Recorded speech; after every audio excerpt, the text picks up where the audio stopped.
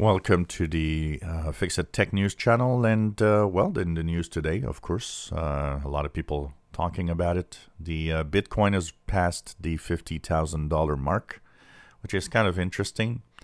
Um, how high will it go and where, you know, it, the speculation going on this is pretty uh, amazing.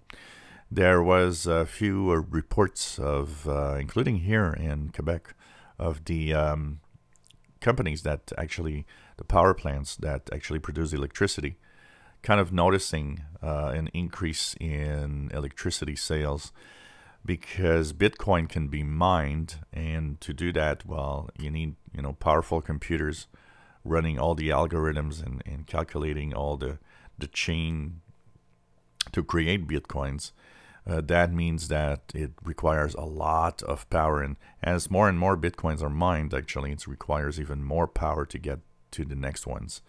And this, of course, means that some are running arrays of PCs of all kinds and uh, trying to uh, get, uh, you know, bitcoins out of it. Uh, this, of course, consumes a lot of electricity. Uh, bitcoins, um, you know, the fact that there's heavy computing going on it means a lot of electricity consumption on the PC side. And often it is done with uh, also the graphics adapter at the same time. So uh, it's going to be interesting to see how high. This is, of course, the highest price it's been.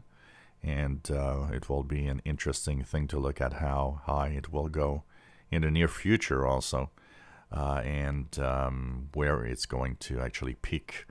Of course, there are on the way uh, hurdles. There's possibility of having Bitcoin fall quite low also.